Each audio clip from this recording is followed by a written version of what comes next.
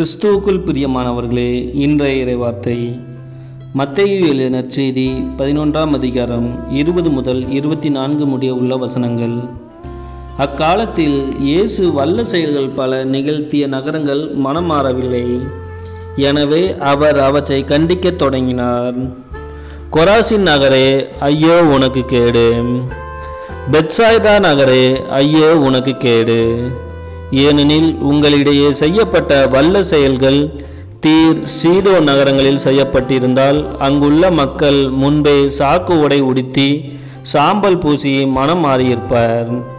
தீர்ப்பு நாளில் தீருக்கும் சீதோனுக்கும் கிடைக்கும் தண்டனையை விட உங்களுக்கு கிடைக்கும் தண்டனை கடினமாகவே இருக்கும் என நான் உங்களுக்கு சொல்கிறேன். கப்பர்நாகுமே நீ வானளவா உயர்த்தப்படுவாயோ? இல்லை பாதாளம் வரை தாழ்த்தப்படுவாய். ஏனெனில் உன்னிடம் செய்யப்பட்ட வல்ல செயல்கள் சோழோமில் செய்யப்பட்டிருந்தால் அது இன்று வரை நிலைத்திருக்குமே. தீர்ப்பு நாளில் சோதோமுக்கு கிடைக்கும் தண்டனையை விட உனக்கு கிடைக்கும் தண்டனை கடினமாகவே இருக்கும் என நான் உங்களுக்கு சொல்கிறேன் என்றார்.